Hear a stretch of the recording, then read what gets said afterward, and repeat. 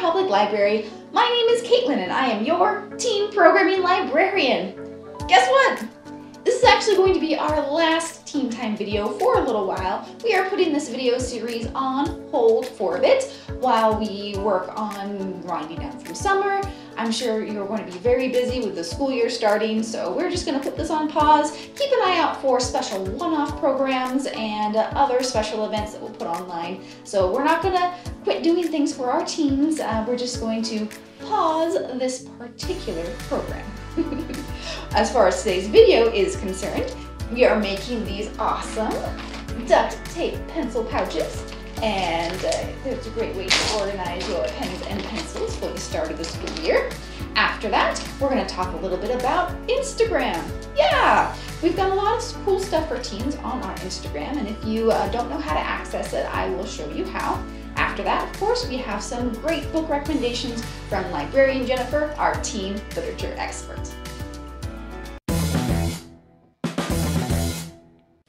Now it's time to learn how to make our pencil pouches. It's been something of a tradition the past few years making uh, school supplies before the school year starts at the library. And well, although you can't come to the library, I can at least bring the craft to you. So I hope you enjoy making your duct tape pencil pouches. Just takes a couple of different uh, materials, but it's real simple and I'll show you how to do it now.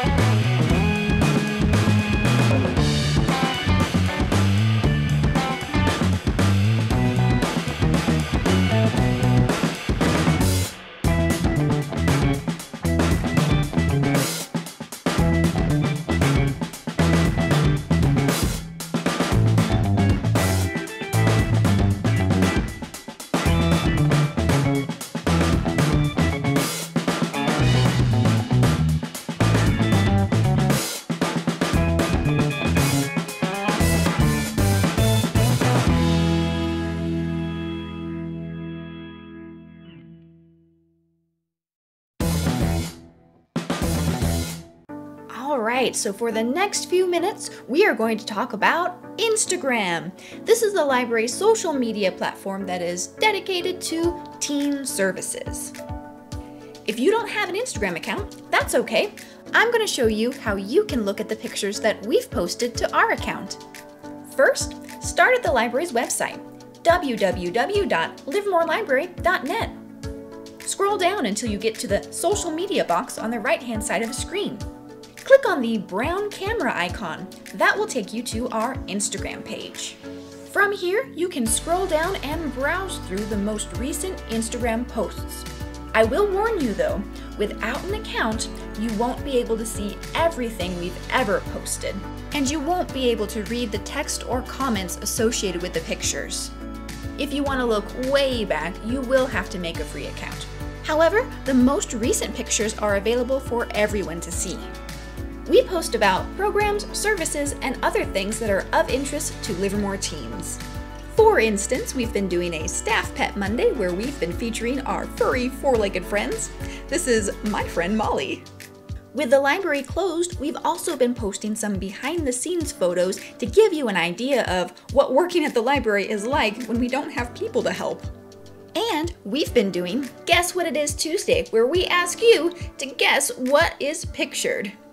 And of course, we also feature programs and events that may be interesting to you. With the school year starting back up, keep an eye on our Instagram.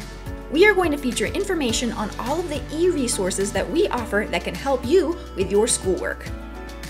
I want to take a moment to direct your attention to the link tree located in the bio at the top of the page.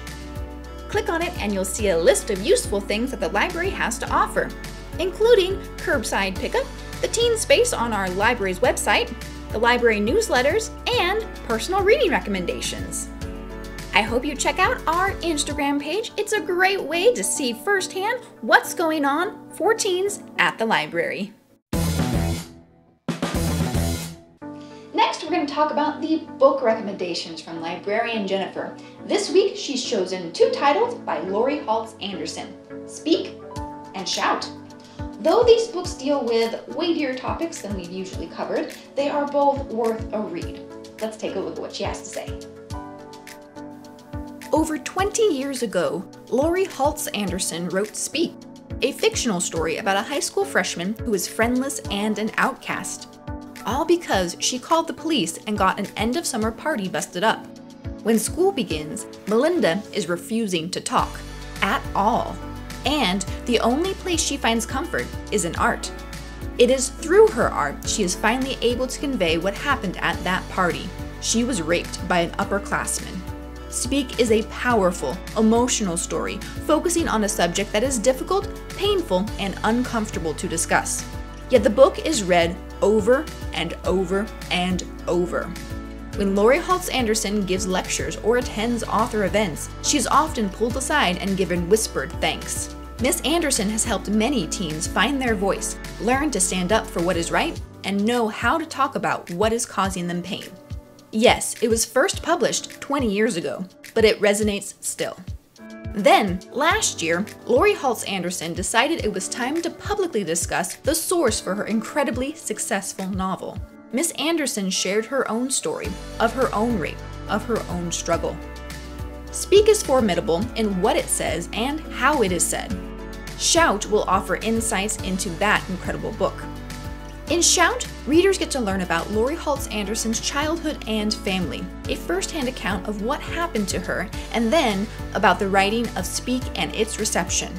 Shout is written in free verse, so if you are unfamiliar with the format, it may be initially difficult to get into. Give it some time. Just read. Forget those line breaks. Don't focus so much on the format, ingest the words.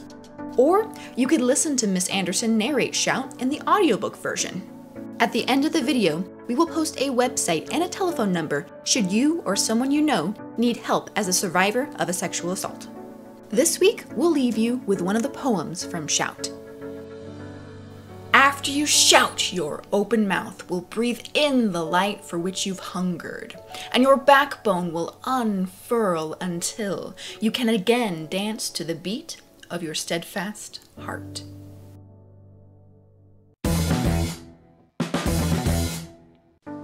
So that's it for today's Teen Time with the Livermore Public Library. I sincerely want to thank you all for watching. Um, I hope you've enjoyed doing the crafts and reading the books and using the resources and going to the programs that I featured in these videos. Even though these videos are being put on hold, please do keep an eye out on our Instagram. It's where we post all of our teen content and it's where you can find updates on everything teen going on at the library right now. Plus, don't forget, you can still get your summer reading prizes. We've had more teens than ever finish the reading game this year and it's not too late to collect your prizes. So please give the library a call at 925-373-5505 to get your prizes through curbside pickup. Thank you again for watching. Maybe I will see you around sometime during curbside pickup. Bye-bye!